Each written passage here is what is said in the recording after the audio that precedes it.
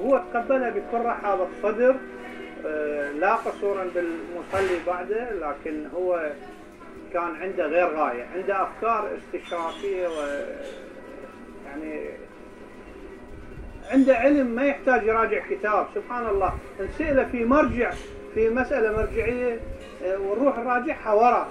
يا أخي ما ذاكرته عجيبة غريبة ذاكرة